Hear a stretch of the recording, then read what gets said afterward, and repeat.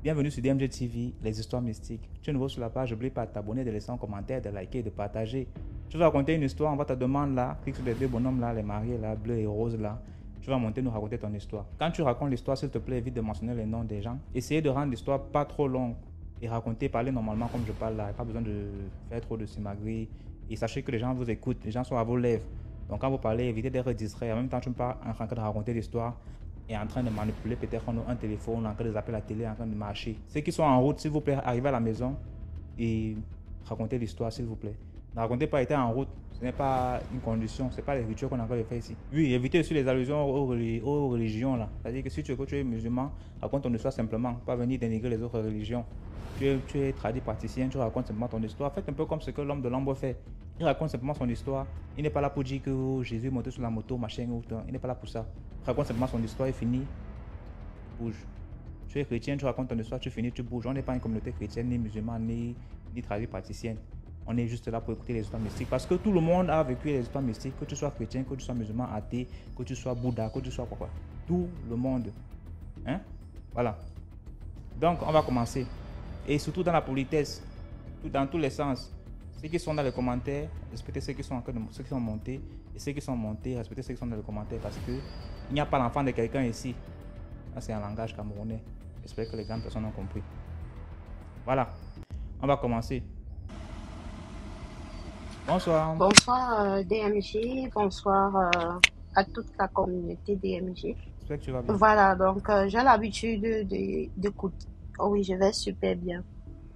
J'ai l'habitude d'écouter ton histoire, tes histoires d'ailleurs. C'est vraiment très édifiant. Ça nous permet vraiment de, comment est-ce que je dire, d'être averti. Voilà. Donc, je me rappelle, ça doit être en 2019 ou 2018, quelque chose comme ça. Moi, je suis déjà euh, introvertie, tu vois. Je mets pas trop des amis et tout, mais finalement, je me suis tissée d'amitié avec, euh, avec une amie. Voilà. Donc, euh, je partais souvent nous rendre visite et tout, et tout, et tout, et tout. Mais sauf qu'un jour, je suis partie on a, euh, on a déjeuné, elle m'a, elle m'a bien servi comme toute personne, tout ami euh, reçoit son euh, accueil.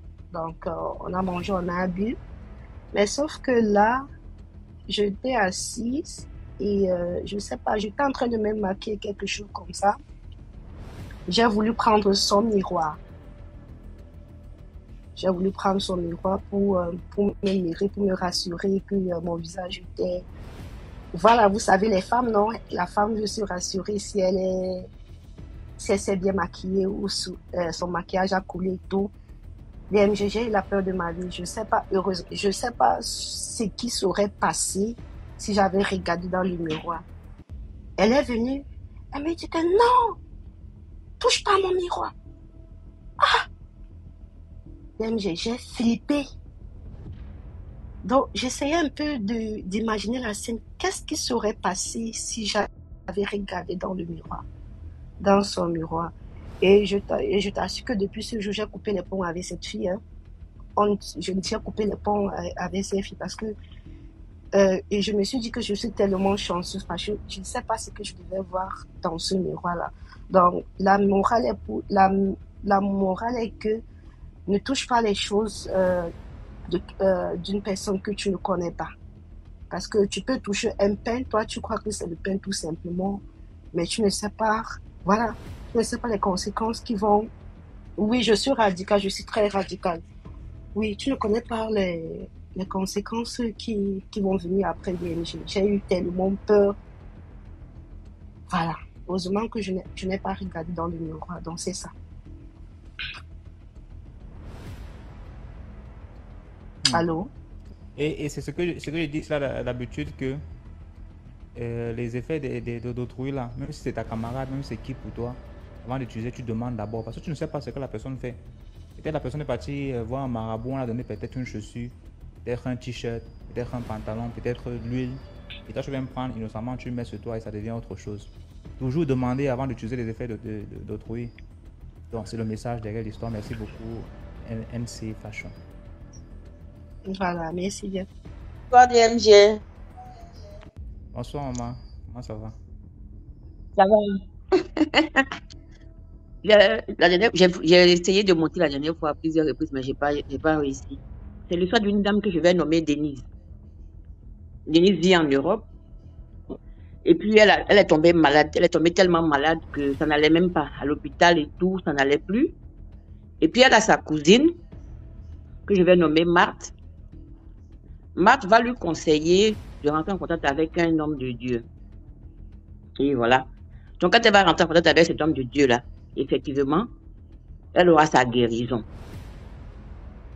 Mais le souci, c'est que Denise, elle est homosexuelle. Elle a plus de 40 ans. Elle n'est jamais sortie avec un homme. Donc, comme Dieu a vraiment aidé à sa guérison, elle voulait vraiment se convertir. Donc, elle allait voir son homme de Dieu pour lui demander est-ce que sa foi n'est pas en opposition avec son, comment on appelle ça, son orientation sexuelle. Et l'homme de Dieu lui a dit que en tant que chrétienne, on ne peut pas tolérer l'homosexualité. Mais,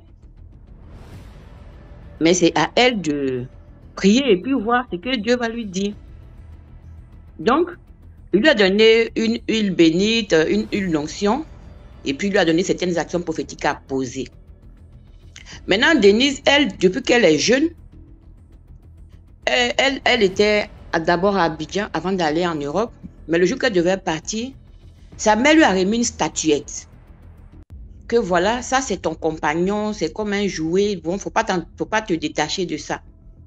Donc quand elle a commencé à prier, elle a jeté tout ce qui est l'histoire de marabout et autres, mais la statuette, elle n'a pas jeté parce qu'elle a pensé que c'était un truc inoffensif.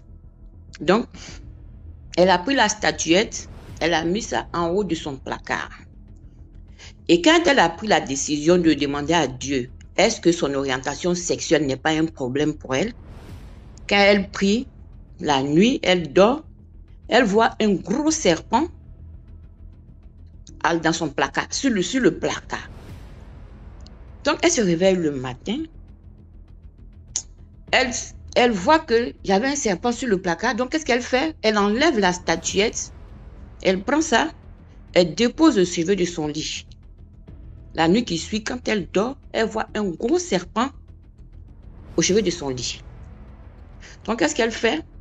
Elle prend le, la statuette et puis elle met dans une valise et elle met ça sous son lit.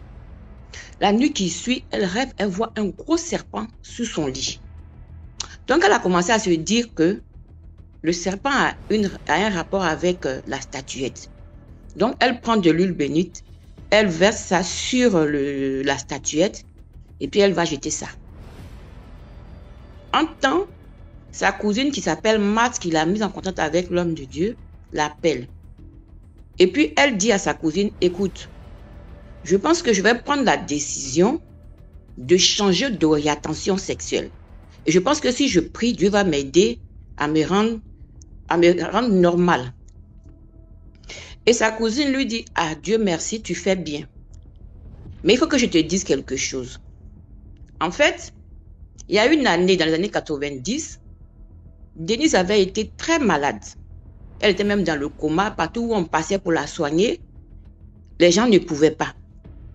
Donc en ce moment, elle vivait avec euh, sa cousine Marthe. Donc Marthe, pensant que Denise allait mourir, prend Denise et la ramène chez sa maman.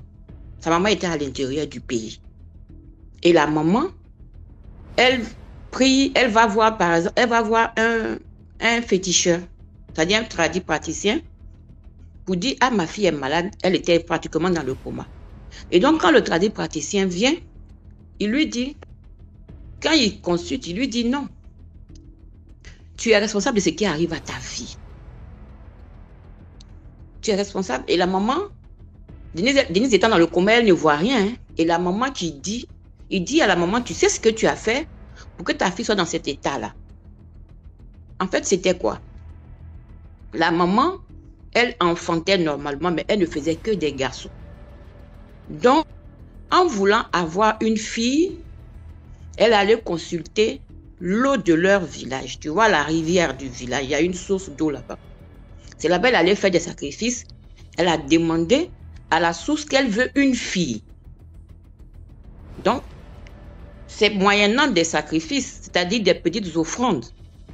Et quand elle est venue, quand elle, a, elle est tombée enceinte, quand elle a vraiment fait une fille qu'elle a nommée Denise, au début, elle a respecté les prescriptions. Mais à un moment donné, elle a arrêté de respecter. Elle, elle n'a plus respecté.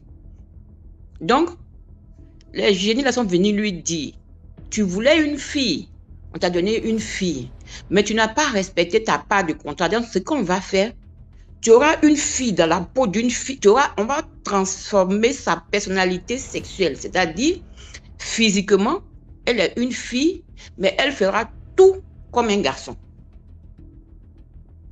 Tu, comprends? Donc c'est ainsi que Denise, depuis qu'elle est née, elle n'a jamais connu d'homme. Elle est homosexuelle, tout le monde le sait. Elle fait même les métiers d'homme, elle s'habille en homme totalement. Une très belle femme. Mais qui était homme. Donc en fait, ce jour-là, étant donné qu'elle était dans le coma, quand le féticheur a parlé et que sa maman est passée aux aveux, Denise, n'a pas su, mais la cousine Marthe, elle a gardé le secret. Donc, quand dans les années 2000, 2020 maintenant, enfin 2010 passé, Denise lui dit à, à sa cousine que ah, j'ai pris la décision de vraiment prier pour que Dieu me change. Et c'est là maintenant sa cousine va lui dire effectivement, voilà ce que ta maman a posé comme action. Et ce sont ces génies-là qui étaient en colère contre toi. C'est eux qui t'ont rendu garçon dans la peau d'une femme. Elle a pleuré toutes les larmes de son corps. Elle appelle son frère au pays pour demander à son frère, mais est-ce que tu étais au courant? Le frère dit oui. Mais c'est pas nous qui a, ce n'était pas à nous de te dire. C'était à ta maman de te le dire. Mais la maman, elle est décédée sans dire le secret. Aujourd'hui, je vous parle par la grâce de Dieu. Elle est revenue dans sa peau de femme parce qu'il a fallu des prières, des délivrances et tout. Il y a quelques jours, il y a une de tes abonnés aussi qui avait raconté une histoire comme ça. Et j'ai vu que dans les commentaires, il y a beaucoup qui se plaignaient du fait que pourquoi elle a dit qu'il fallait seulement demander à Dieu pour avoir des enfants. En fait, ma belle-sœur, elle, fait, elle, fait, elle, vend des plantes pour la, fertilité des femmes. C'est normal. Même la pharmacie, France, la pharmacie actuelle, la pharmacie européenne, vient de la pharmacopée. La pharmacopée, c'est quoi? C'est la médecine par les plantes traditionnelles. Donc, s'il y a la, la pharmacopée est la source de la pharmacie moderne, ça veut dire que on peut prendre des plantes pour se soigner. On peut prendre des plantes pour même activer la fertilité. Mais par contre, il y a des alliances. On va par exemple demander un enfant à une rivière. On va demander, pardon, un enfant à une forêt. C'est sûr que en tant que parent, notre soif d'enfant est résolue, est satisfaite parce qu'on a un enfant. Mais quand on ne peut pas respecter ce qu'on a promis, qu'en est-il de la vie de cet enfant-là? Qu'en de la vie de cet enfant-là C'est comme la dernière fois, il y a un autre abonné qui a dit que sa femme, il était couché, puis Dieu lui disait, ta femme qui est à côté de toi est un serpent. Parce que on va demander des enfants à des esprits qu'on ne maîtrise pas. Sous prétexte que voilà, c'est un tradit, on peut dire tradit on dit tout tradit mais il y a des bons et puis il y a des mauvais. Donc souvent, ce qu'on va demander là, ça nous attache à des esprits et qui mélangent la vie des gens. Donc pour Denise, on peut dire heureusement, Dieu a agi pour elle. Sa maman n'était pas spécialement dans un besoin d'enfant puisqu'elle avait déjà des enfants, mais garçons. Mais comme elle voulait une fille, elle allait demander une fille et il a fallu plus de 45 ans pour que cette fille-là aujourd'hui ait la délivrance par la grâce de Dieu. Donc souvent, on est parents aujourd'hui, nous on peut dire qu'on est moderne, mais faisons quand même attention à nos demandes et à qui on demande. Hmm. Voilà. Merci beaucoup pour l'histoire. Bonsoir. Bonsoir DMG.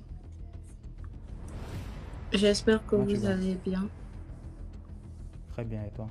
Ça va likez, partagez. Bon, ce soir, je suis montée parce que je voulais vous raconter mon histoire. Enfin, mon histoire, c'est un peu trop long. L'histoire de mon nom. Voilà. Donc, euh, le jour de ma naissance, mon homonyme est décédé. Et donc, euh, enfin, mon grand-père, il a, il sait comment il s'est arrangé avec sa sœur, donc il m'a donné son nom. Et j'ai grandi. Mon grand-père me racontait souvent, il me disait, euh, ça c'était ma sœur préférée. Elle était belle, elle était intelligente et je crois qu'elle a eu plus de 16 enfants, si je ne me trompe pas. Mais quand je suis née, il n'y a que trois qui étaient encore vivants, si je ne me trompe pas. Et euh, quand j'ai eu mon bac et le jour où je, enfin, quand je commençais à faire mon visa pour venir en France, j'avais pas mal de difficultés. J'avais pas mal de difficultés je ne comprenais pas. Donc, à chaque fois, moi, je me pliais, je pleurais dans la maison, je me demandais, mais qu'est-ce qui ne va pas, qu'est-ce qui m'arrive et tout ça. Et c'est comme ça que, euh, qu'un jour, on est à la maison, mon copain et moi, et euh, je rentre en transe. Quand je rentre en transe, c'est vraiment, euh, vraiment explosif parce que je me blesse même moi-même, je me fais du mal et tout ça. Et ma grand-mère arrive et mon ex, il a eu, euh, il a eu l'ingénieuse idée de filmer parce qu'il a vu une caméra. Il a placé une caméra et il est en train de filmer la scène. Et quand j'ai revu tout ce qui s'est passé, euh, j'étais, enfin, mon homonyme est rentré dans mon corps et elle était en train de parler. Elle posait la question à ma grand-mère parce que ma grand-mère était là. Elle posait à ma grand-mère la question, mais comment c'est possible que moi je n'ai pas fait des études, je n'ai pas, je n'ai pas, enfin pourquoi mon homonyme ne répète pas mon histoire? Et ma grand-mère était en train de prier au nom de Jésus, le sang de Jésus, pourquoi euh, elle va répéter ton histoire? Est-ce qu'on avait prévu ça et tout? Parce que ma grand-mère est chrétienne. Et là, il y a la dame qui parlait dans mon corps, elle disait mais non, moi je n'ai pas fait d'études, j'ai sacrifié ma vie le jour. Euh, le jour où Shani s'est née, c'est le jour où je suis décédée, c'était pour qu'elle continue mon histoire. Et aujourd'hui, elle veut aller en France, elle veut faire des longues études. Enfin, elle se détourne complètement de la vie que j'ai menée. Moi, je me suis mariée, j'ai fait des enfants, j'ai toujours vécu au village, etc. Et ma grand-mère a prié, prié, prié. Et mon ex, il était musulman. Donc il a dit, attendez, je vais aller appeler l'imam pour venir faire les délivrances et tout. Et ma grand-mère, elle croit en Dieu, elle a prié, elle lui a dit, ne va pas. Et lui, il est parti, mais il n'a pas trouvé d'imam, il est revenu à la maison. Et j'étais déjà calme. Elle a fait venir un homme de Dieu, ils ont prié. Je peux dire que j'ai eu mon visa pratiquement, j'étais dans un temple on était en train de me faire des délivrances parce que euh, euh, spirituellement ça n'allait pas du tout spirituellement, ça n'allait pas. Et euh, elle a fait les délivrances. On m'a rebaptisé parce que j'étais déjà baptisée. On m'a rebaptisé. Et c'est comme ça, quelques, peut-être deux semaines après, mon visa est sorti. Et trois jours plus tard, j'ai voyagé. Et ma grand-mère m'a dit, euh, il faut que tu restes en prière parce que, parce qu'il y a les réclamations de ton nom qui sont là. Du coup, euh, je voulais dire à tout un chacun ici de réfléchir avant de nommer un enfant.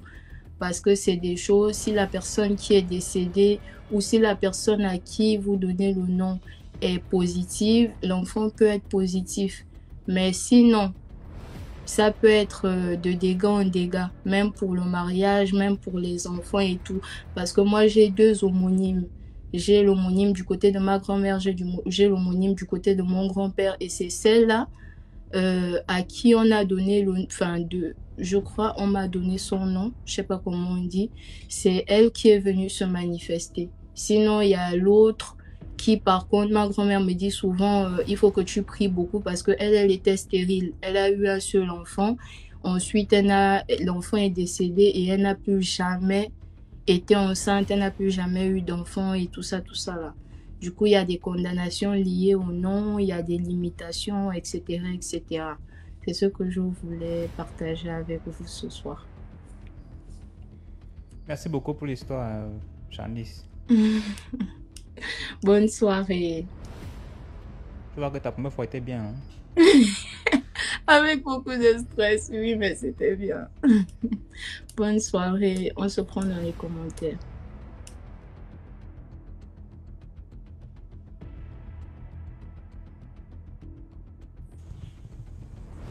Bonsoir, Sinclair, le matou.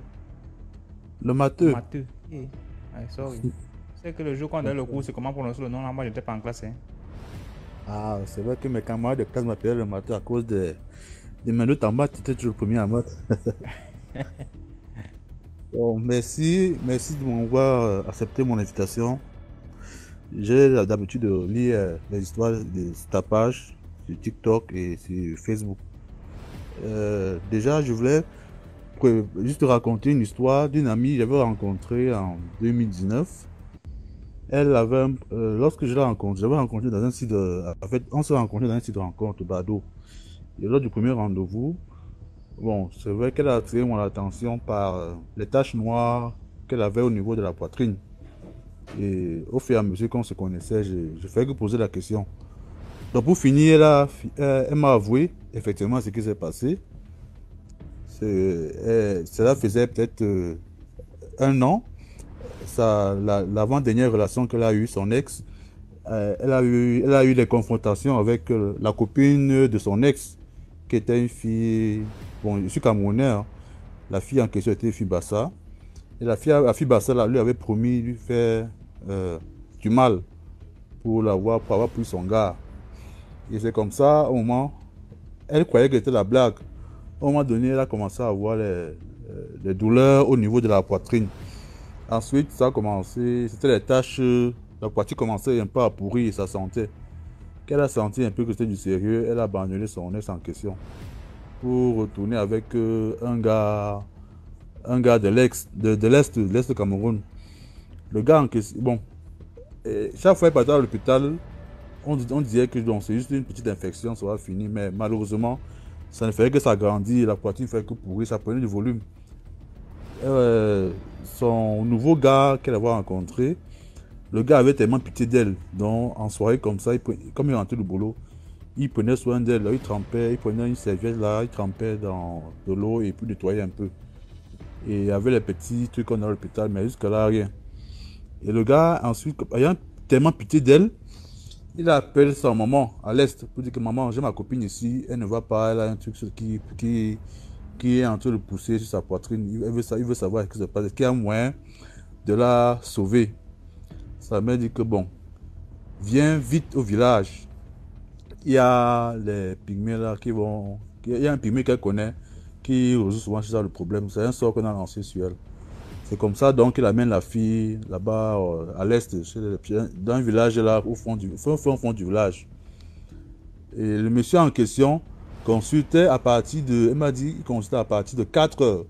Et il avait des consultations à 6 heures. Donc, elle, me dit qu'elle allait dans avec sa mère. Arrivé là, il y avait une foule de gens, surtout les filles. Bon, beaucoup venaient pour les envoûtements. Veut dire que lui aussi il faisait des choses- là. Mais elle, elle venait pour la guérison. À son tour, donc, de la recevoir, euh, le monsieur la reçoit. Il regarde, il dit que bon, je vois, c'est un sort qu'on a lancé.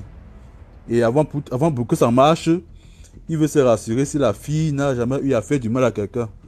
Faire du mal, c'est-à-dire n'a jamais eu même souhaité la mort à une personne. Si c'est ça, ça, ça s'avère, ce sort va s'appliquer, elle va mourir. Elle a dit que non, et c'est- elle est une fille simple, elle n'a jamais eu à faire du mal à quelqu'un et tout et tout.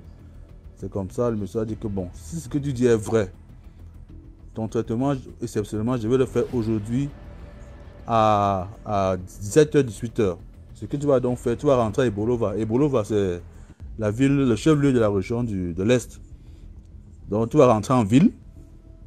Alors, en allant en ville, tu vas acheter. À l'époque, il y avait, je sais pas, euh, le lait, le lait, le lait liquide là, on appelle ça Pavani. Bon, à l'époque, c'était pas, bon, Pavani, le lait, le lait liquide dans les, les petites, dans les boîtes là.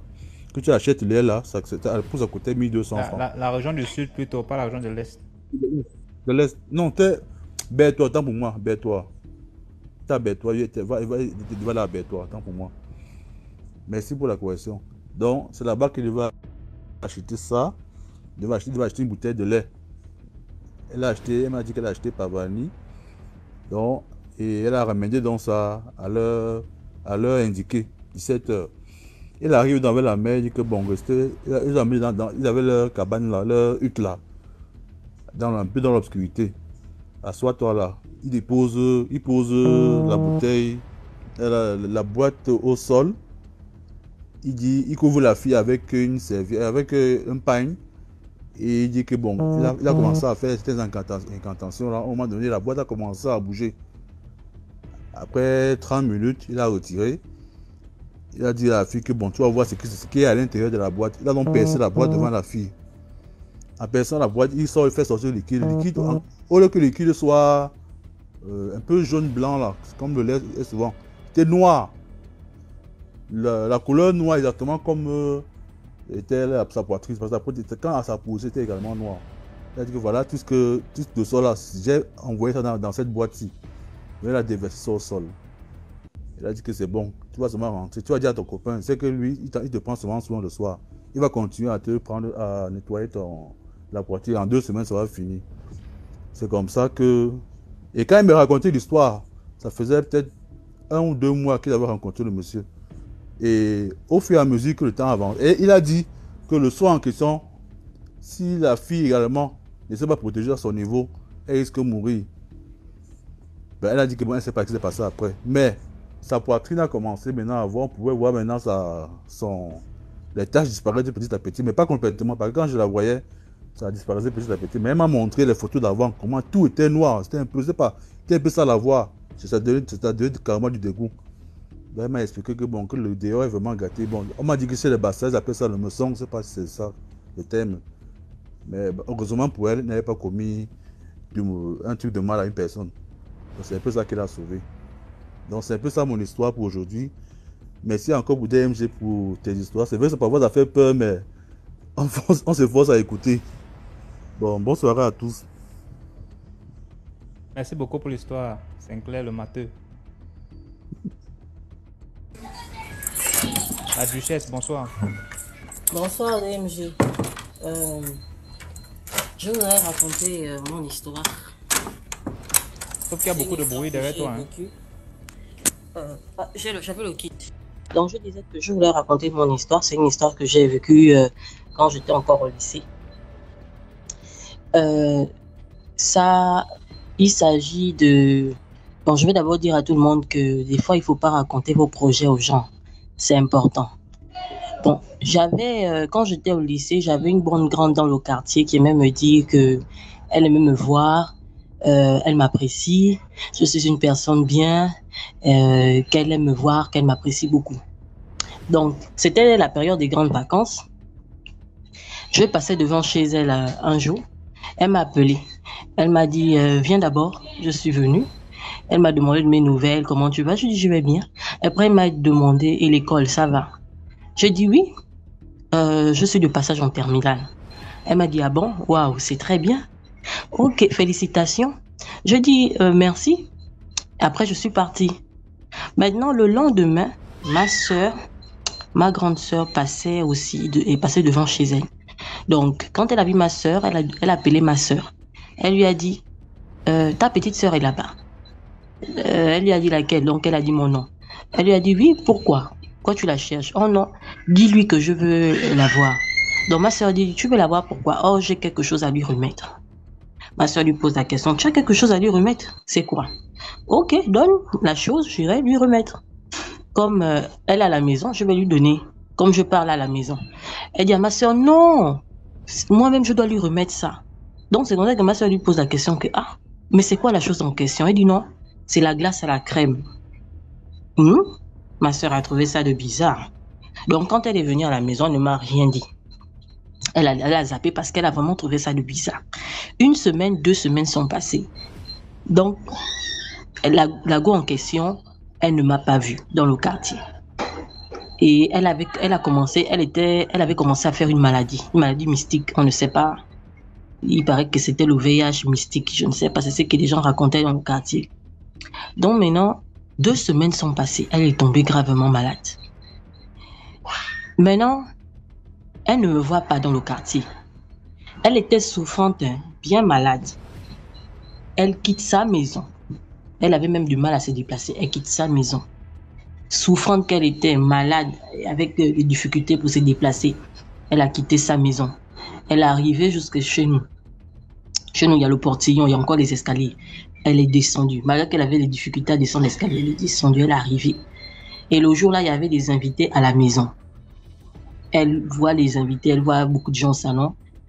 Elle demande, elle dit bonjour d'abord. Tout le monde, se retourne, bonjour. Les gens sont étonnés de voir une personne malade, bizarre, euh, vraiment euh, quelqu'un qui était qui n'allait pas bien euh, venir se pointer là au salon. On lui demande qu'il y a quel problème. Oh non, il n'y a pas de problème, je veux juste voir tel. Ah, ma mère était en train de cuisiner, mais après elle s'est retournée, elle est venue voir pourquoi les gens criaient mais il y a quoi, il y a quoi. Elle est venue voir au salon, elle demande à la personne, à la, euh, voisine en question qu'il y a quel problème. Oh non, je suis venue voir ta fille et tout. C'est comme ça que ma soeur a dit qu'elle est derrière. Donc, elle laisse les gens au salon. Les gens se posent la question, mais il y a quel problème? Elle vient me trouver derrière la maison. C'est comme ça qu'elle me dit, j'étais derrière la maison avec ma tante, j'étais en train de tresser ma tante. Elle me dit bonjour. Je dis, oh bonjour, ça va. Oh, ça ne va pas depuis un temps, je suis malade. Je dis, ah, mais tu es malade, pourquoi tu te déplaces? Oh non, c'est parce que j'avais quelque chose à te remettre. C'est comme ça que je lui dis, ma tante lui pose la question que tu as quelque chose à lui remettre. La chose là, c'est quoi? Oh non, je t'ai réservé une glace à la crème. Elle me tend la glace à la crème.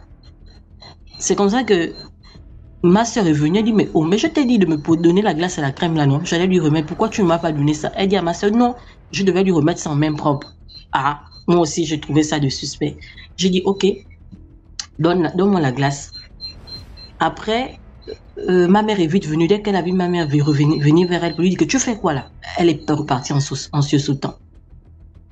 Donc c'est comme ça que ma mère m'a dit que tu veux faire quoi avec la glace? Je dis, je ne sais pas, elle est venue me donner ça. C'est comme ça que ma soeur commence à me dire que moi aussi je trouvais ça de bizarre. Quand je suis passée devant chez eux, elle m'a appelé pour me dire que je te dis de venir chez elle parce qu'elle a quelque chose à te remettre. C'est comme ça que ma mère a pris la, la glace à la crème là. Elle allait jeter ça derrière la maison. Euh, même pas, je crois, le lendemain ou deux jours après, elle est décédée. Donc, quand moi j'ai entendu qu'elle est décédée, je suis allée voir un pasteur exorciste. Je suis allée demander que, mais ce qui s'est passé là, euh, dernièrement, là, c'est vraiment bizarre. hein. C'est vraiment bizarre. Est-ce que, pasteur, vous pouvez pas voir ce qui s'est passé? Donc, c'est comme ça que le pasteur me relate qu'effectivement, euh, la personne avait une maladie mystique. Dans son monde mystique, on lui a demandé d'échanger de vie avec une personne par hasard dans le quartier. Peu importe le lien, vous n'avez pas besoin d'avoir un lien. On lui a juste demandé d'échanger sa vie parce qu'elle s'apprêtait à mourir. Donc, on lui a dit d'échanger sa vie avec quelqu'un par hasard, donc comme ça dans le quartier. Et c'est toi qu'elle avait choisi pour échanger sa vie. Donc, toi, tu devais mourir à la place et elle, elle devait prendre ta vie. Donc, elle devait rajeunir. Je voulais, euh, je tiens à, conseiller les gens ici que, qui m'écoutent aujourd'hui, ce soir, que il faut faire attention avec, euh, avec qui on sourit dans le quartier. C'est pas tout le monde forcément qui veut, qui nous veut, du- qui nous veut du bien.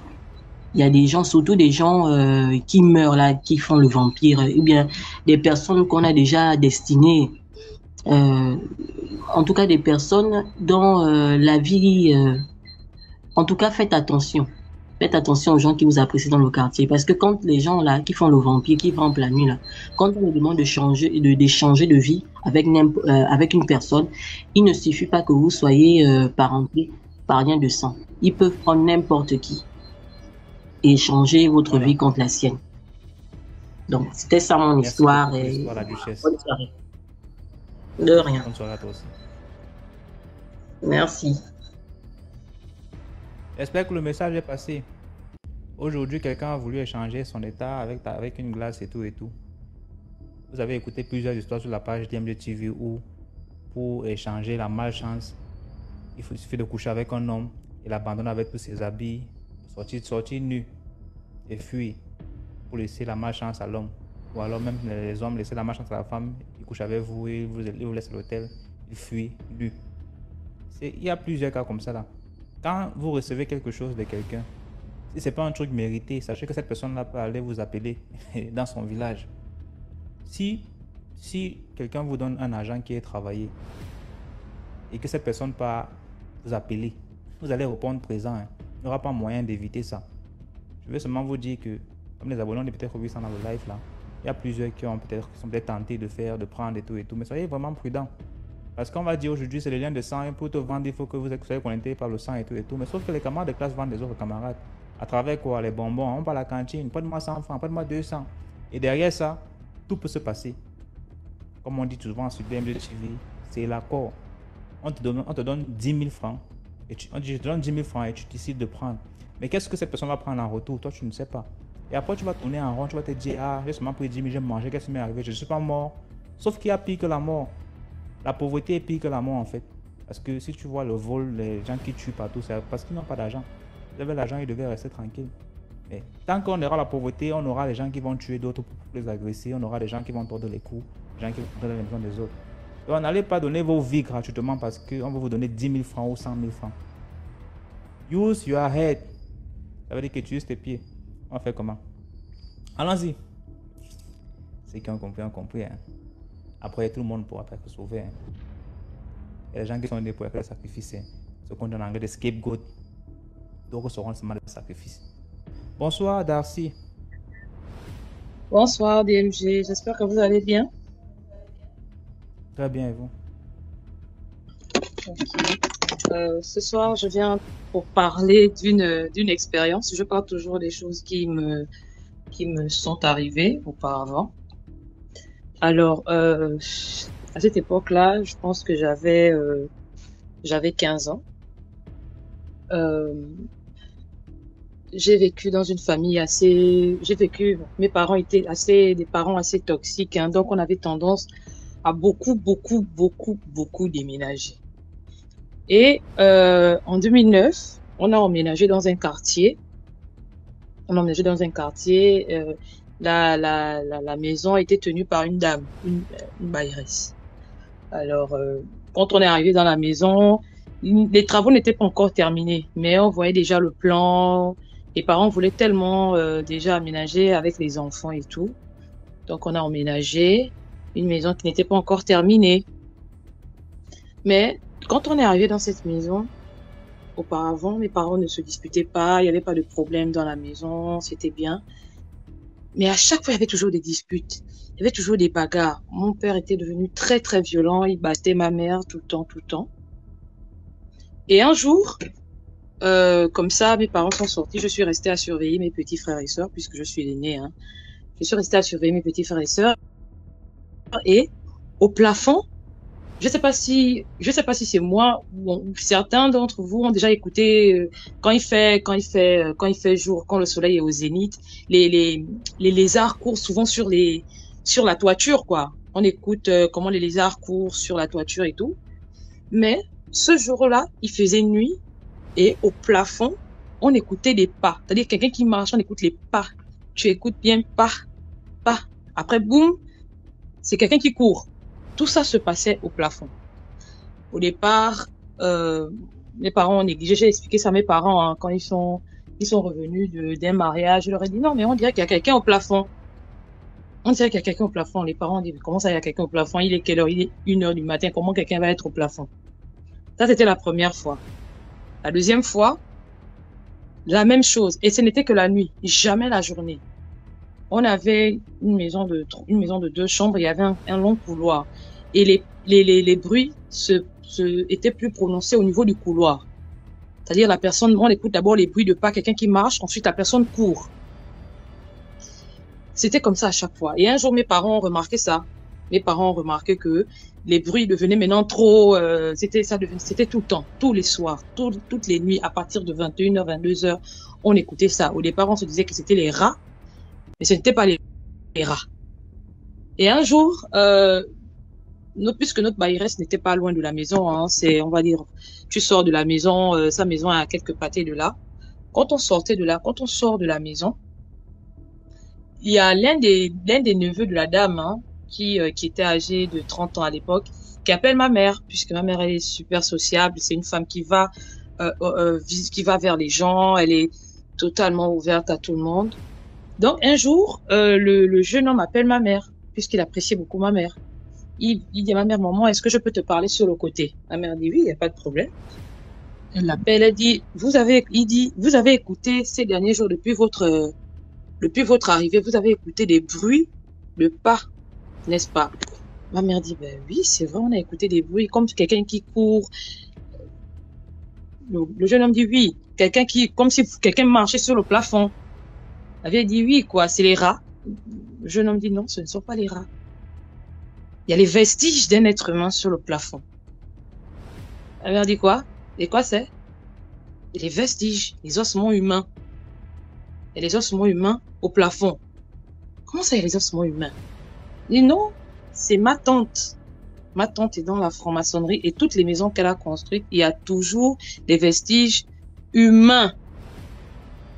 Donc, ma mère ne croit pas. Elle va à l'église, elle explique ça à l'église que voilà, euh, il y a mon petit voisin qui m'a expliqué qu'il y a des vestiges et tout et tout et tout. Et euh, le pasteur a dit à la vieille d'aller prier. Il dit quand tu rentres à la maison, prie, prie d'abord et tout. Et ma mère a eu une révélation que la dame est dans la franc-maçonnerie, du moins elle est dans une secte euh, satanique et toutes les maisons qu'elle a construites, il y a des vestiges humains. Il y a des vestiges humains dans toutes ces maisons. En fait, elle emprisonnait les vestiges de la personne sont emprisonnés dans la maison pour faire fructifier les biens de la dame. Tout ce que la femme avait, tout ce que la femme avait, ce sont les vestiges en question qui lui apportaient de l'argent. Et les esprits qui sont dans les maisons aspiraient l'énergie et ne les... Hello? Quand on a aménagé dans cette maison, il y avait tout le temps... Allô? Euh, Tu as reçu un appel, n'est-ce pas? Oui, oui, oui j'ai euh, j'ai raccroché. Donc je disais que euh, il y avait tout le temps des disputes alors qu'auparavant il n'y avait pas de disputes. Et c'est à c'est à ce moment-là que les parents ont décidé de faire des enquêtes. Mon père a, a, fait des enquêtes. On a cassé le plafond. On a découvert des ossements humains au plafond. On a demandé à la dame de justifier. Elle a dit oui, c'est peut-être des rats, je ne sais pas, mais ça c'est pas des êtres humains et tout et tout. Ça a fait grand bruit à cette époque-là. Et on a toutes ces maisons, toutes les maisons que la dame tenait avaient des ossements humains. Et le, tradit, euh, et le pasteur à l'époque disait que cette dame-là enfermait des fantômes dans toutes les maisons. Et le, le problème encore dans, euh, dans ça, c'est qu'on est arrivé à la, dans la maison, on n'a pas purifié la maison, on est arrivé, on s'est juste installé avec nos, avec nos, nos, nos effets, on n'a pas purifié, on n'a pas prié, du coup, tout ce qu'on avait, on avait même des maladies bizarres, on se retrouvait chaque mois. Chaque mois, l'un de nous devait toujours tomber malade. Chaque mois, c'était comme ça. Et après ça, bah, mes parents ont décidé de, après ça, mes parents ont décidé qu'on déménage. On a dû déménager. On a voulu porter plainte à la dame. Mais euh, ma mère a décidé que ce n'était pas nécessaire. Le mieux, c'est de partir. le mieux, c'est de partir. On est parti. Je rappelle que l'histoire s'est passée en 2009. Et aujourd'hui, bah, on a appris que la dame est décédée. On a appris est décédée en 2019. Hein. Elle est décédée en 2019, crise cardiaque dans sa voiture. Donc, euh, le conseil que je donnerais euh, ce soir, ce serait ne rentrez pas dans une maison juste parce que vous avez hâte. Purifiez d'abord la maison. Euh, faites tout ce que vous voulez, que ce soit les chrétiens, que ce soit les, les, les, les, les traditionalistes. Purifiez toujours une maison parce qu'on ne sait pas. Peut-être qu'il y a des il y a des maisons qui ont été construites sous des sous des cimetières ou encore euh, voilà, c'est juste ce que je voulais raconter ce soir. Merci et bonne soirée à tous. Merci beaucoup, Darcy. Allez, commentaire.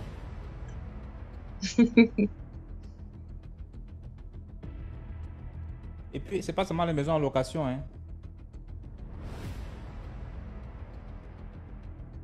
Pas seulement les maisons en location, même les maisons que vous avez construites. Parce que quand vous finissez de construire la maison, peut-être quand c'est encore tourné simplement, là, il y a des gens qui dorment là-bas dedans. Hein. Les gens entrent dans vos maisons dormir et vous ne savez pas ce qu'ils viennent faire là-bas. Donc, Protégez-vous. Hein. Bonsoir. Bonsoir DMG, comment vas-tu? Très bien et toi? Ah, fatigué. Il y a une histoire que je vais raconter. C'était euh, c'était il y a quelques années. Je vais appeler la jeune fille euh, Aurélia et le garçon dans le dans dans le dans l'histoire je veux l'appeler euh, Jean. Donc, Aurélia a rencontré Jean sur les bancs de l'école. C'est-à-dire en terminale.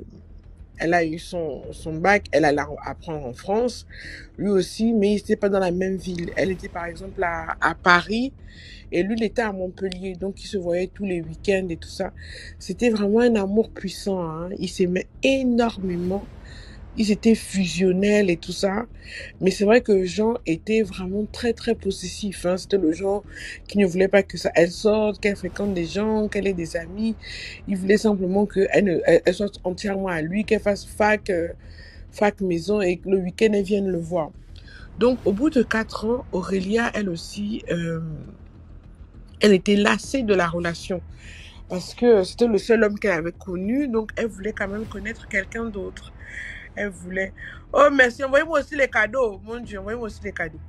Donc, euh, elle, aim- elle, elle aimait beaucoup le garçon, mais elle s'est rendue compte qu'à un moment donné, il étouffait, qu'- qu'elle voulait vivre autre chose. Elle avait connu que ce garçon-là. Elle voulait aussi, c'est ma jeunesse aussi que quand même que je rencontre d'autres, d'autres gars, d'autres relations. Et elle en a parlé franchement avec Jean, que Jean, là où tu me vois là, moi vraiment, ça fait cinq ans qu'on a une relation intense, fusionnelle, exclusive. Et moi, euh, je ne suis plus euh, heureuse. J'ai envie de, de, vivre autre chose, de connaître autre chose sans vraiment vouloir te, te manquer de respect, euh, vraiment, et tout ça là.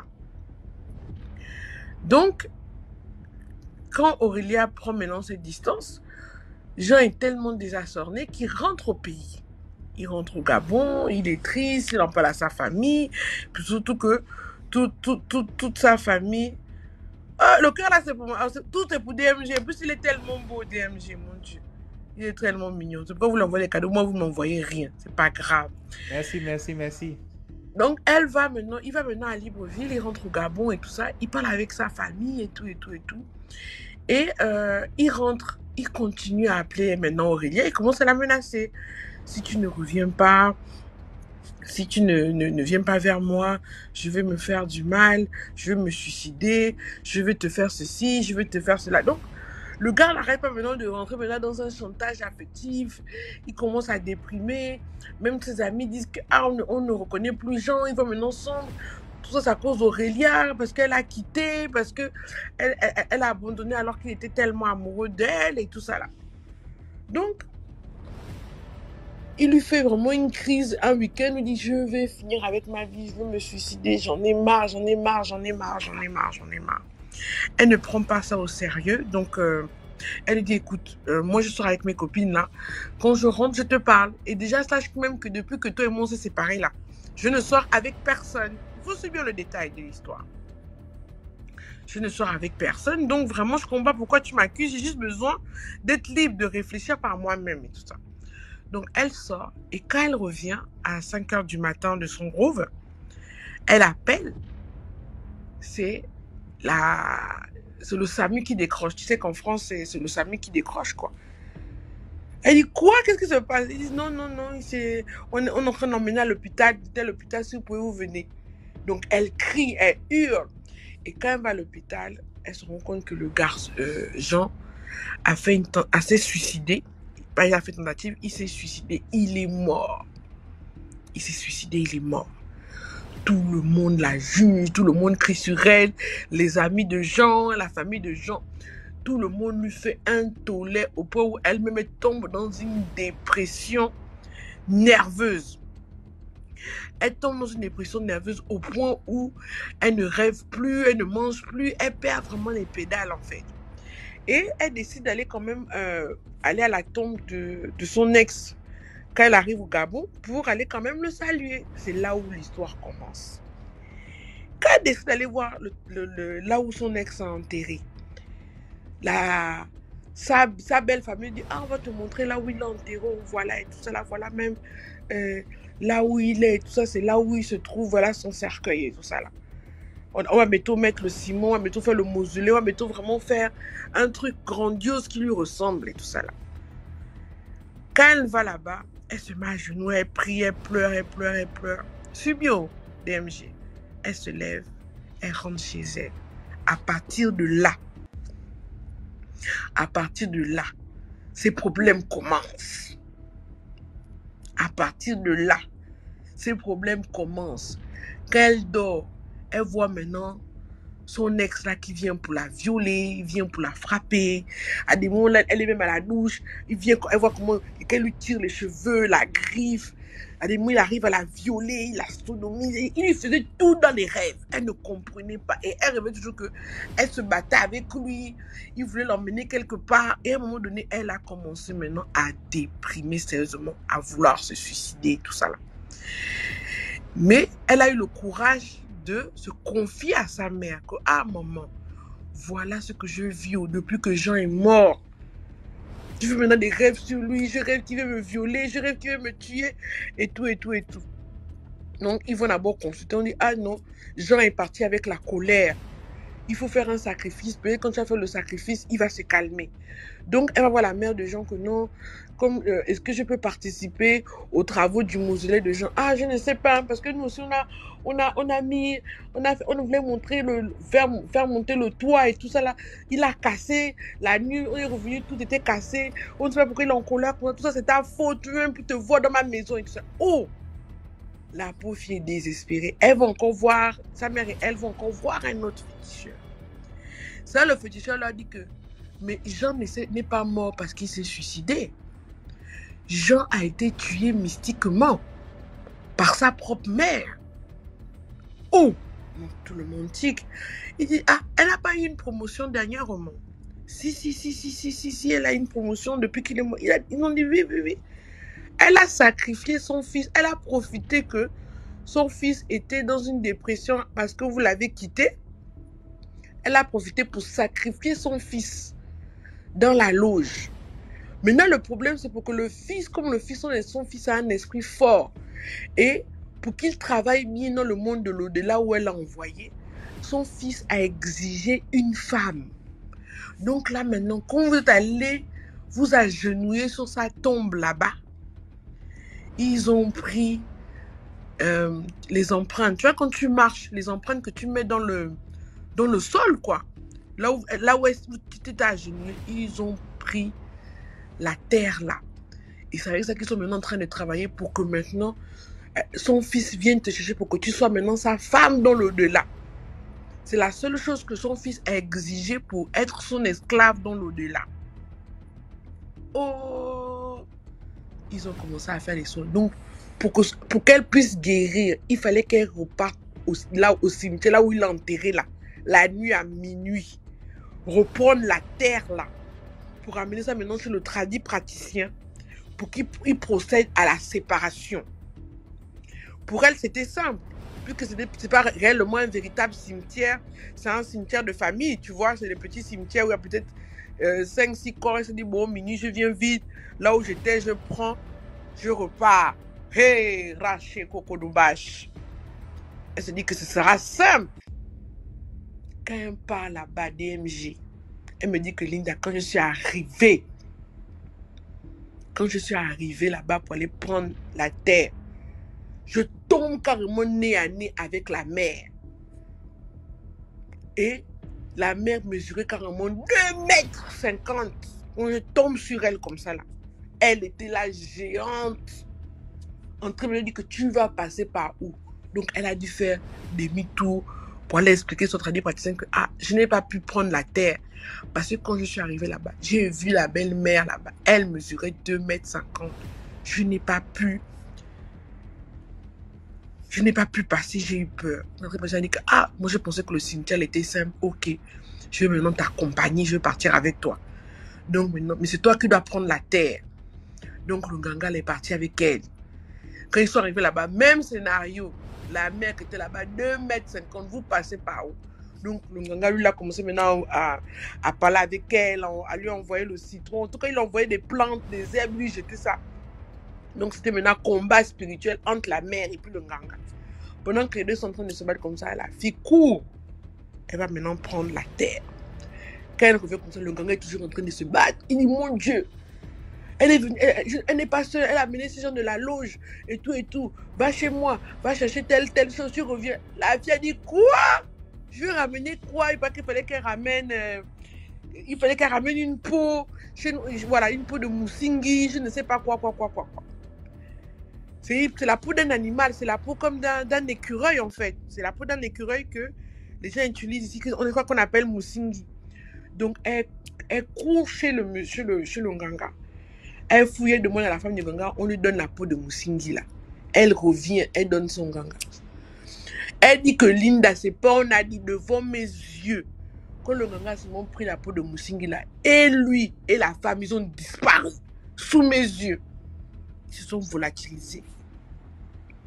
Quand elle a vu ça, elle n'a même plus demandé son reste. Elle a fui, elle est repartie attendre le ganga chez lui. Il était peut-être 3 heures, 2 heures quand elle est repartie attendre chez lui. Au moins, il va attendre comme ça chez lui. C'est là où le gars réapparaît vers les 5 heures avec les griffures, les trucs comme ça. Il a dit que vraiment, ta belle-mère là, ce n'est pas une petite fille. Elle a l'habitude de faire ça. Elle était même la femme de nuit de ton petit ami là. Et elle est le mari de nuit de toutes ses filles. Ah, ah. C'est là où il a procédé à la délivrance de la fille et tout ça là. Elle a arrêté de faire les mauvais rêves. Elle a arrêté de, de, de, se trouver dans des situations bizarres. Et finalement, oui, et finalement, la belle-mère là, elle a perdu son travail et elle est morte. Elle est morte quelque temps après, en fait, quelque temps après la délivrance de, de, de la connaissance là. C'est-à-dire qu'il faut vraiment faire attention avec les empreintes. On m'a raconté beaucoup d'histoires il y a deux jours là avec les empreintes. C'est que quand on va quelque part, surtout quand c'était une mort où on t'a accusé, faut pas mettre les pieds n'importe où. On t'a déjà accusé de tout et n'importe quoi. Donc tu ne sais pas comment les gens là vont t'en vouloir pour te faire du mal. Donc même les empreintes là, que tu t'agenouilles ou bien tu marches, on prend ça, on peut te faire du mal. Soyons vraiment dans la prière et dans la concentration. Le mal vient de tout, de, de partout. Tant qu'on va vivre, on va toujours entendre de nouvelles histoires. Donc, c'est ce que moi, je voulais partager avec vous ce soir. En fait, Donc, oui, GMG, tu merci dis? beaucoup, merci beaucoup. Voilà, Merci c'est seulement ça. les empreintes, justement, quand, quand, quand, on, quand on parle souvent de. On a mis un truc devant ta porte là, c'est parce que justement, on sait que tu marches, tu passes par là Voilà. arriver chez toi. Donc, si on, si on veut te prendre, c'est devant ta porte qu'on va te prendre. Surtout ceux qui habitent dans les cours communes, là. c'est- faut toujours verser, avant de sortir de ta maison, faut toujours verser l'eau où tu as mis un peu de sel avant de sortir. Tu verses devant ta porte. Et puis tu sors. Pas tous les jours, faut sortir maintenant comme un mouton, tu la tu sors. Cours commune, n'importe qui peut venir verser quelque chose devant ta porte. Chez nous, on appelle ça le fusil nocturne. On vend ça à 500 là au marché. Quelqu'un finit avec toi. Ah.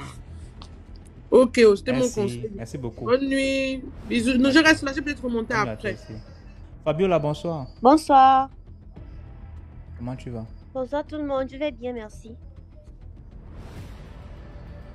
Donc, euh, Ok. d'abord, je tenais à, à vous féliciter pour le concept. Je vous ai connu il n'y a pas longtemps et j'aime bien en fait. Donc, euh, c'est une histoire que mon grand-père m'a racontée au village, au Gabon. En fait, lorsqu'il était plus jeune, il aimait bien les sorties, il aimait les grooves et tout. Et donc, il est sorti un soir, ils sont allés au snack, ils ont groové entre amis et tout. Et là, il rencontre une fille. La fille vraiment jaune banane en fait. Ce sont des métis en fait, on les appelle les jaunes bananes au Gabon. Elle est métisse, elle gloss, ils sont que non, là il a trouvé la femme de sa vie. Donc toute la soirée et tout, ça chill, ça prend la boisson, c'est lui qui gère et tout. Et la go lui dit non euh, au petit matin vers les 5 heures. Elle lui dit non, je veux qu'on rentre ensemble. Il dit mais tu vas rentrer avec moi, comment et tout, on vient de se connaître, mais il est déjà bourré. Ils sont ok. Il n'y a pas de problème, on y va. Donc ils sortent. Il dit à ses amis que non, moi je rentre avec la go là. On va se voir demain et tout. Mais tu rentres comment? Tu ne la connais pas? Oh non, il y a quoi? Il n'y a rien, machin et tout. Il insiste. Il part, il prend le, le, le avec la fille. C'est même la fille qui, qui dit qu'elle va payer, il n'y a pas de problème. Ils montent comme ça, ils vont. Ils roulent, ils roulent, ils roulent, ils roulent, ils roulent, ils roulent. La go dit au taximan arrête. Le taximan dit mais comment ça tu t'arrêtes ici? Donc mon grand-père et tout, il est déjà un peu, il est déjà un peu bourré, donc il ne se rend pas trop compte de la conversation entre la fille et le chauffeur. Oh, vous descendez ici, vous êtes sûr? Oui, ma maison est juste là et tout. Donc il descend du taxi. Quand il marche comme ça, mon grand-père dit qu'il a vu une grande maison blanche. La maison était tellement belle. Que- mais toi, tu es l'enfant de qui? Tu es l'enfant de quel ministre dans le pays là? Oh non, on va en parler demain et tout. Rentrons. Il rentre dans la maison. Il monte les marches d'escalier. Ca, ca, ca, ca. Quand ils finissent de monter les marches d'escalier là, il monte sur le lit. Mon grand-père est trop bourré, il est trop bourré, il dit que non, il ne peut pas, il va dormir. Au matin, on va faire ça au petit matin, faire les choses des grands là. Il s'allonge, il enlève le haut, il met au chevet du lit. Il avait la croix, les, les chaînes, euh, les croix qu'on fait en forme de bois là, il avait ça sur lui. Il prend le, t-shirt, il pose, euh, euh, au chevet du lit. Et la grosse s'allonge, il dort. Mon grand-père se réveille à midi. Il se réveille à midi comme ça. Il est sous la tombe de quelqu'un. Seigneur Jésus, je fais quoi ici? C'est le gardien qui vient comme ça que... Mais vous faites quoi là? Vous criez là Vous faites quoi là? Qu'est-ce que vous faites là et tout? Il, explique au, au gardien. Au gardien, mais c'est pas possible. Quand vous êtes venu ici, vous n'avez pas vu que c'est- le portail, c'est le cimetière. Il s'est levé en sursaut. Le, t-shirt qu'il avait été sur la croix. La croix où on enterre les, les, les, sur les tombes là. Il s'est levé en sursaut. Il était tout paniqué. Il ne savait même pas où il était, de quel côté le cimetière là se trouvait. Donc c'est le, le monsieur qui l'a indiqué que non, essayez de prendre un taxi, vous restez dans quel quartier et tout. Il a expliqué au gars, il a pris le taxi, il est rentré. Dès qu'il est arrivé, il a raconté ça à ses parents. Comme nous aussi, les Gabonais, on a nos choses, ils ont fait un bain de taille pour briser les esprits là. Briser, briser, briser, briser. N'a pas compris. Après là, euh, je pense que quand ils ont terminé les bains et tout, mon grand-père, il a décidé qu'il ne boit plus. Il ne sort plus. C'est fini. Le type, maintenant que Caro à la maison. Très, très droit. Voilà, c'est la fin de mon histoire. En tout cas, c'était juste pour vous, pour vous dire de faire attention hein, quand vous sortez là. Il faut vraiment faire attention. Voilà, c'était tout. Merci, merci beaucoup pour l'histoire. D'accord, pas de problème. Les gens qui se réveillent sur mon cimetière là, imagine tu te réveilles au cimetière, tu vas faire comment? Genre tu dors chez ton gars, tu dors chez ton gars, après tu te réveilles au cimetière, mais tu dors chez ta copine, après tu te réveilles au cimetière. tu commences à en pleure l'autre là comment? Il demandait sur l'autre jour que imagine tu, tu, tu, tu ramènes une fille chez toi et après les rapports et tout et tout, vous dormez, le matin tu te réveilles, tu te rends compte qu'elle est morte. Ou bien ton gars vient passer nuit chez toi. Le matin, tu te réveilles, il est mort. Tu fais comment? Qu'est-ce que tu fais? Aïe aïe aïe. Ok? Allons seulement. La Gabonaise, bonsoir. Bonsoir DMG, et bonsoir à, à la communauté DMG. Alors, je vais raconter une petite histoire qui m'est arrivée euh, au collège. Bon, pour les Gabonais qui sont dans le live, vous allez reconnaître le lycée technique. Alors, on avait une amie en classe qui nous disait toujours qu'elle est sorcière. Mais nous, on ne la prenait pas trop au sérieux. Nous, ben, on, se disait que bon, elle dit de n'importe quoi, elle ne sait pas ce qu'elle raconte. Et tout le temps, c'était comme ça, elle nous, nous racontait comment ça s'est passé toutes les nuits lorsqu'elle allait dans son monde là-bas. J'ai dit, oh, comment ça? Du tout, du tout, on ne la reprenait pas au sérieux jusqu'à un jour, elle vient nous dire que son petit frère a été capturé.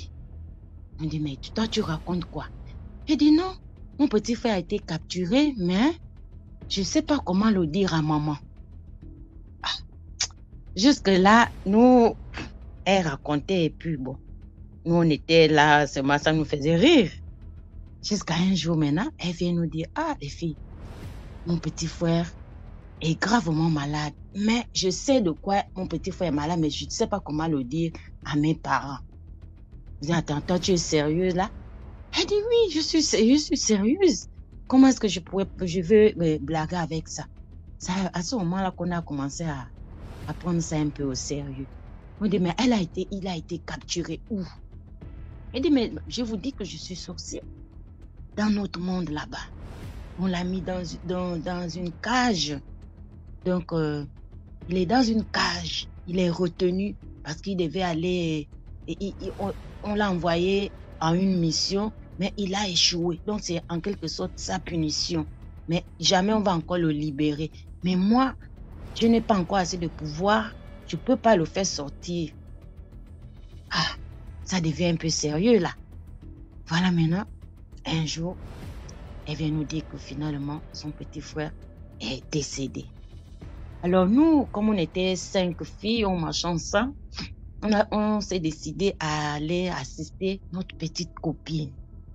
C'est comme ça qu'on arrive chez eux. Je vais taire le nom du quartier. On arrive chez eux, on la trouve là, tout le monde est là. Et c'est, carrément le deuil, hein, c'est sérieux. On- Attends, Toi, tu es sérieux que tu connais de quoi? Et d'une nuit. Bon, mais nous aussi, c'est pas si elle-même n'arrive pas à dire à ses parents, c'est pas nous qui allons dire à, à ses parents que non, l'enfant est retenu dans le monde de la sorcellerie. Déjà, on on va même pas nous prendre au sérieux. Donc, jusqu'à ce que son petit frère a été enterré et puis elle a continué dans sa chose et l'année qui a suivi, moi je n'étais plus là-bas. Donc euh, je sais pas qu'est-ce qu'elle est devenue. Donc c'était un peu ça, ma petite histoire. Merci beaucoup, la Gabonaise. Rien. Bonsoir. Bonsoir DMG. C'est le Gabon. Bonsoir DMG. Non, c'est Roselyne Cameroun. Ah, ok. Ok. En fait, ce que je vais parler, c'est c'est quelque chose que je vis et je ne sais pas ce que c'est. Je ne sais pas si je vais trouver des conseils ici. Parce que ça fait déjà trois ans, euh, quand je dormais dans mon lit, je sentais toujours une présence qui venait tout près de moi. Et quand cette présence arrive, je peux plus bouger, je suis paralysée. Même ouvrir ma, même ouvrir ma bouche euh, ou bouger mon corps, je peux pas. Et cette présence va venir, je sais pas ce qu'il fait de moi. Après, il va partir. Même en journée, quand je dors, le soir, très tard la nuit, c'est pareil. Après un moment, j'ai fait un rêve dans lequel euh, quelqu'un m'a dit que j'ai rencontré un homme qui m'avait initié dans la sorcellerie. Et je sais pas, j'ai beaucoup prié et ça a un peu cessé, mais ça revient de temps en temps depuis quelques moments. Euh, L'autre jour, quand je dormais à 6 heures du matin et j'ai vu une grenouille, donc je vois ça, ça vient comme si je, vois, c'est comme si je vivais la chose, mais je suis endormie, mais je sais pas comment ça se passe.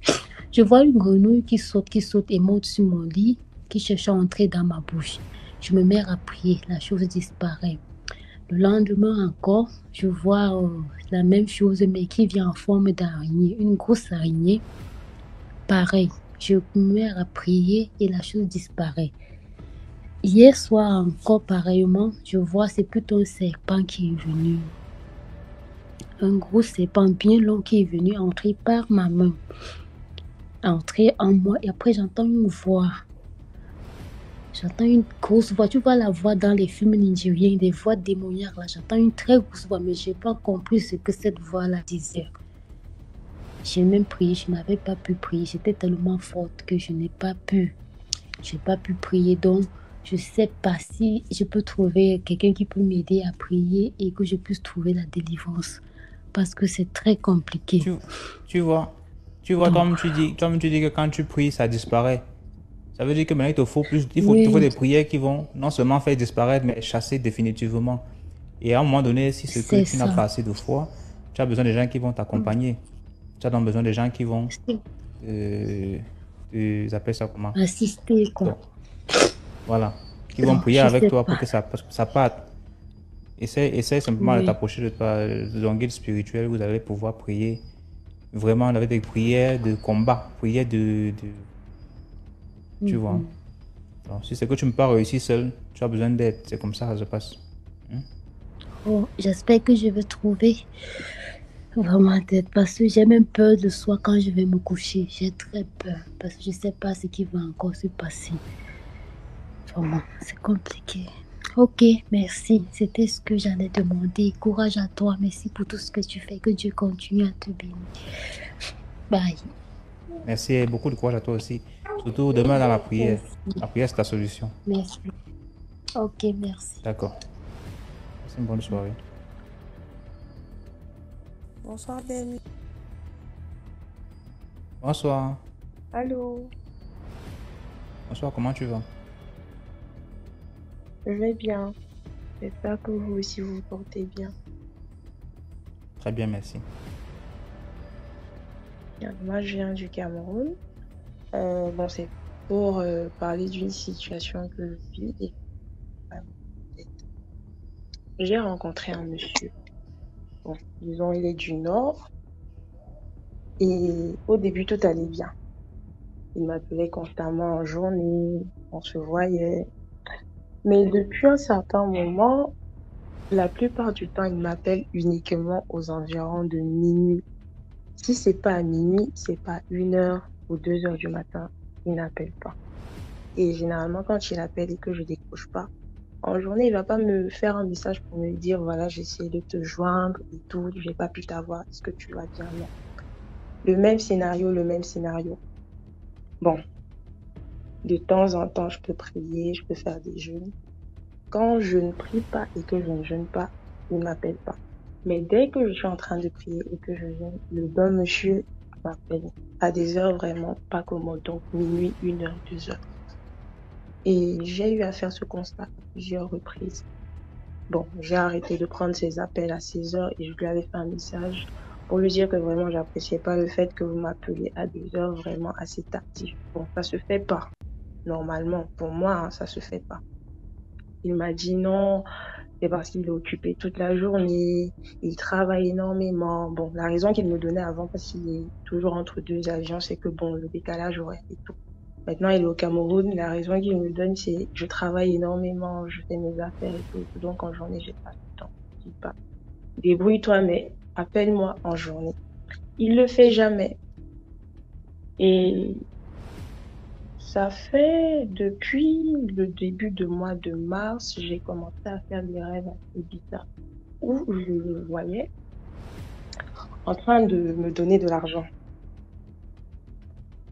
Bon, dans le rêve, je lui disais, moi, je peux pas prendre de l'argent. Tu sais, si tu dois me donner de l'argent, voilà, euh, tu me le donnes par Orange Money ou bien tu me fais un monogramme et tout, mais prendre de l'argent dans le rêve, je sais pas, je peux pas le prendre.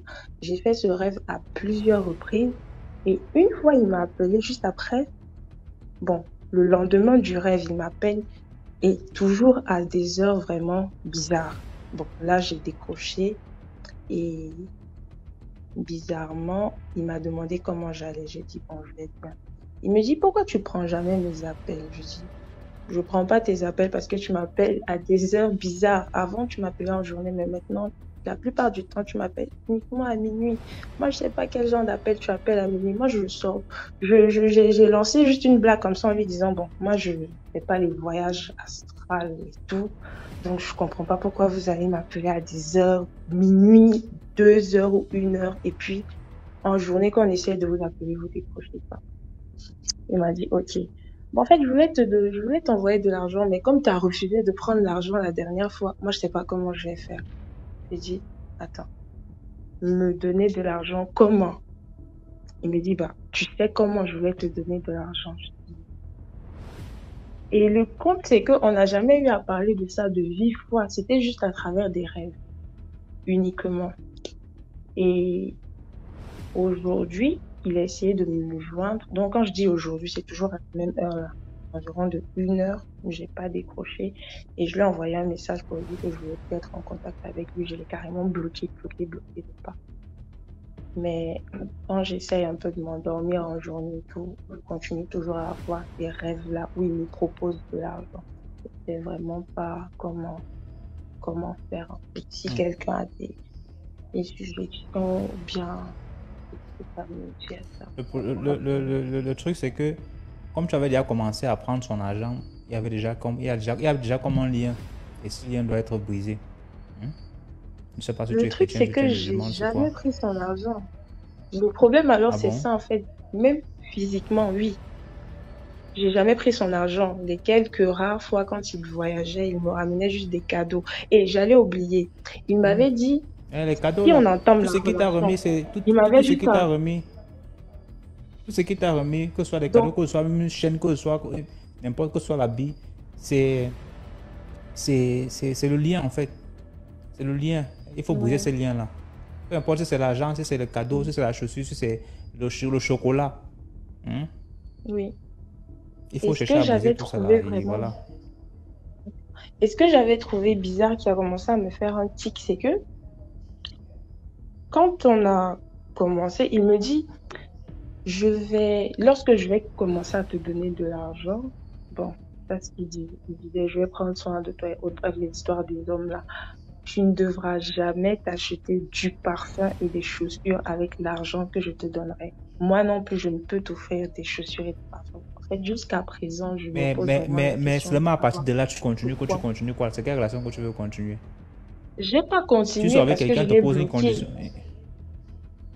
Je n'ai pas continué la relation, je l'ai bloqué. Mais je reçois Mais tu as des déjà eu des rapports avec appels le- avec le avec monsieur, n'est-ce pas? Non. Non, parce que même se voir, c'était compliqué. Parce que s'il fallait qu'on se voie, c'était toujours à des heures tardives. Et moi, je, je, je, je- j'étais vraiment pas d'accord par rapport à ça. Je me disais non, c'est pas possible. Parce que moi, je reçois pas les gens chez moi à partir d'une certaine heure. Et c'est pas com- commode, en fait. Donc, Donc, c'est comme je disais, euh, ma soeur, essaye de briser les liens là. Approche-toi de ton guide spirituel. C'est pas si tu es chrétienne, si c'est que tu es musulmane, si tu es quoi. T'approches de celui qui est censé être ton guide spirituel. Vous faites des prières ensemble. Comme ça, vous- tu, tu, tu lui expliques ce que tu viens de nous expliquer. Et ensemble, vous allez briser les liens. Parce que quelque part, si ce qui réussit à. Si, si, si, si, te- si ce qui réussit à, à venir tous les soirs, c'est parce que quelque part, il y a un lien. Il faut que tu découvres c'est quoi le lien. Qu'est-ce qui s'est passé? Il t'a donné quoi? Tu as pris quoi chez lui? Il faut, il faut que tu saches ça. Mhm. Et tu brises complètement. Voilà. Merci beaucoup pour ton histoire. Merci à vous autant et beaucoup de courage. Merci. Voilà. Fleur de lys. Justement, il y a une porte ouverte. Il y a une porte ouverte. Ça veut dire que c'est par la porte là qu'il passe. Il ne peut pas venir chez toi si c'est qu'il n'y a pas eu, il n'a pas eu, il n'a pas eu l'invitation. Si aussi entrer dans ta maison jusqu'à venir te toucher dans ton lit, c'est qu'il y a eu l'invitation. Voilà. Il y a eu l'invitation et il a pris l'invitation. Il passe par là maintenant. Tant que ça ne sera pas brisé, il va toujours venir. Sauf s'il vient trouver le feu là-bas dedans, puis il vient entrer, il n'y a pas moyen d'entrer. La maison est protégée. Tant que la- tant qu'il y aura accès, il y aura accès. Allô? Bonsoir, comment ça va? Allô? Je vais bien et vous?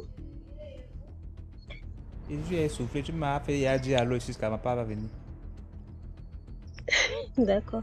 Oui, voilà, je vais raconter mon histoire. euh, L'histoire que je vais raconter concerne une dame, en fait, euh, qui travaillait dans une, euh, dans un supermarché de la place.